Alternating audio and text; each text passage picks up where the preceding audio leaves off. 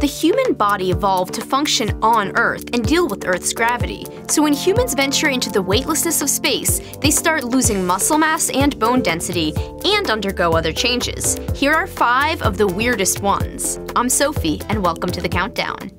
In 1994, astronaut Richard Hieb became too tall to fly in space, while he was flying in space.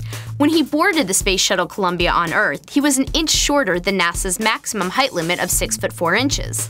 But once the shuttle went into orbit, he started growing. On Earth, gravity presses down on the body. In microgravity, that pressure is removed, and spines stretch out, increasing an astronaut's height by as much as 2 inches.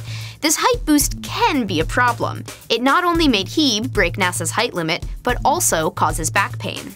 Earth's gravity also keeps the fluids in our body where they belong. Without it, liquid pushes its way into the head and chest, making legs shrink, faces swell, and heads ache. The fluid also causes nasal congestion, which may be why astronauts report a weaker sense of taste in space. Stuffy noses impair our sense of smell, which has a huge influence on the ability to detect flavors.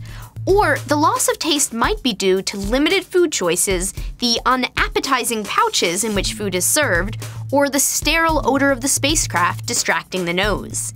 To make up for the blandness, astronauts spike their food with hot sauce, horseradish, and other spices.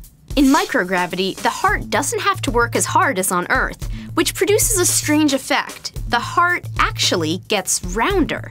In a recent study, 12 astronauts used an ultrasound to measure their hearts before, during, and after a mission on the International Space Station. In space, their hearts became more spherical, and back on Earth, they returned to normal. But on a long voyage, like a trip to Mars, this change could make the heart function less efficiently. Although the rounder hearts are only temporary, some astronauts undergo permanent eye damage during their time in microgravity.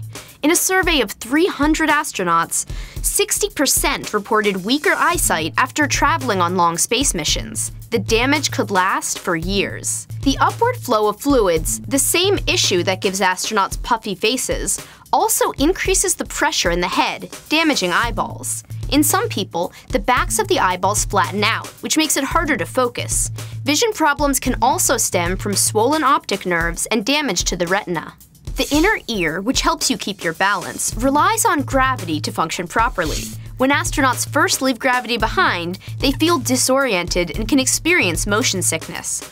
Until they learn to orient themselves with visual cues alone, astronauts can lose track of where their arms and legs are located in space, which makes them a lot clumsier. Once they've finally adjusted, they still have to go back to Earth, where they must readapt to life with gravity again, which means relearning how to stand up, balance, and walk in the proper direction.